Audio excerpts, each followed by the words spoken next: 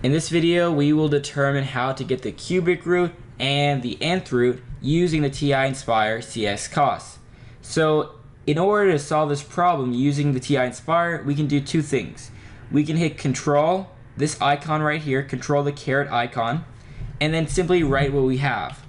So we have 64, and that's the answer. Or we could do this, 64 raised to 1 divided by 3. Because this is a cubic root, they're both equivalent. Hit enter, and we get the answer. Now we'll do the next two. Same exact thing. Control caret, you know, we can do 3, and simply write 54, hit enter. And this is the answer, or we could do 54 raised to 1 over 3.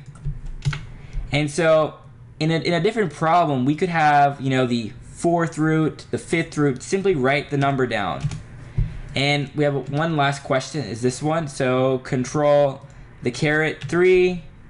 Um, we have 8 times a raised to 6 times b raised to 5. Simply hit enter. And that's all we need to do using the TI Nspire.